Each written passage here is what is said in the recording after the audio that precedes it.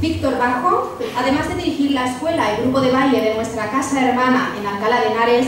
dirige la escuela y grupo de Asociación Cultural Ciudad de los Amantes en Teruel, con quienes Teresa ha colaborado cuando le ha sido requerido. Hoy, Víctor y su mujer y pareja de baile, Ana Domínguez, no han querido perderse este homenaje a Teresa, a quien quieren ofrecerle jotas bailadas con un claro sabor turolense. A continuación, bailarán la más elegante y señorial de las jotas, la jota de caranga,